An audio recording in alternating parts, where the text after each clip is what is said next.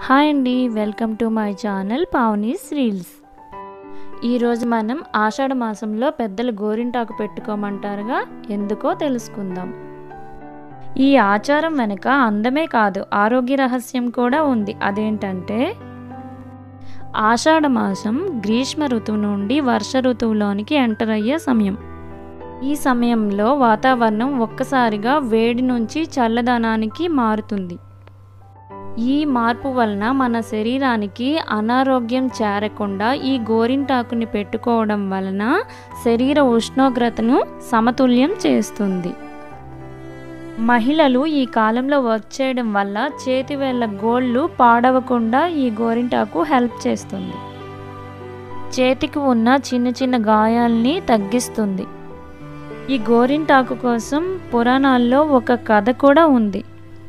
తెలుసుకున్నారుగా గోరింటాకులోని రహస్యం? అందుకే ప్రతి సంవత్సరం ఆషాఢ మాసంలో తప్పకుండా గోరింటాకు పెట్టుకోవాలి. ఒక ఆషాఢ మాసంలోనే కాకుండా అప్పుడప్పుడు పెట్టుకోవడం వల్ల అందం ఆరోగ్యం మీ సొంతం. మరి పెళ్ళిళ్ళకి కానీ శుభకార్యాలకు కానీ వెళ్ళినప్పుడు గోరింటాకు చేతికి ఎర్రగా అందంగా పండాలంటే కొన్ని చిట్కాలు పాటిస్తే బాగా పండుతుంది. అది ఎలాగో ఇప్పుడు చూసేద్దాం.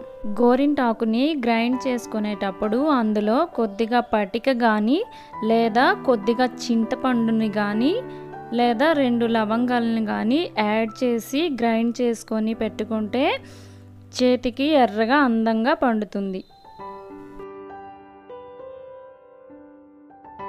మెహందీ పెట్టుకునేటప్పుడు ఎర్రగా పండి ఎక్కువ రోజులు ఉండాలంటే ఏం చేయాలో చూసేద్దాం. మెహందీ పెట్టుకొని కాసేపు అయిన తర్వాత నిమ్మరసాన్ని కానీ పంచదార వాటర్ని కానీ కాటన్తో మెహందీపై అప్లై చేయాలి. ఇలా అప్లై చేసిన తర్వాత బాగా ఎండిన వరకు ఉంచాలి.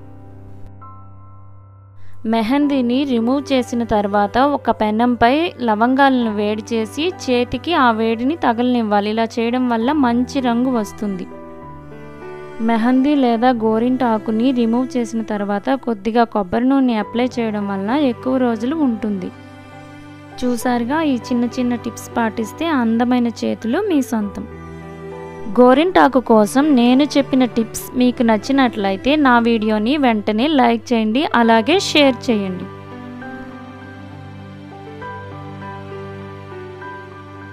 Thank you for watching.